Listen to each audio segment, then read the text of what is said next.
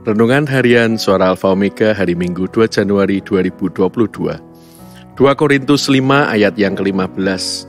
Dan Kristus telah mati untuk semua orang supaya mereka yang hidup tidak lagi hidup untuk dirinya sendiri, tetapi untuk Dia yang telah mati dan telah dibangkitkan untuk mereka. Sementara banyak sekali orang yang terlalu membatasi diri dengan kekurangan-kekurangannya untuk membantu dan menolong orang lain, Thomas Alva Edison justru membuktikan sebaliknya. Dengan hasil karya yang dipatenkan sebanyak 1093 buah, maka ia telah membuat rekor bagi dirinya sendiri.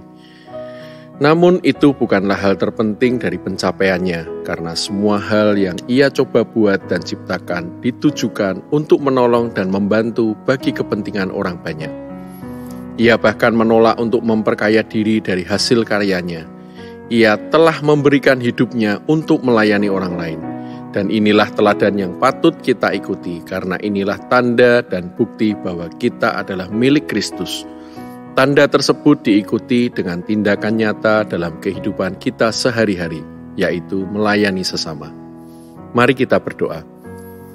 Ya Tuhan, kami mengucap syukur karena Engkau telah mempercayakan hal-hal yang besar di dalam hidup kami, supaya kami menghasilkan buah, dan buah itu tetap Biarlah Engkau yang memampukan kami untuk mengerjakan semua hal tersebut. Di dalam nama Tuhan Yesus kami berdoa. Amin.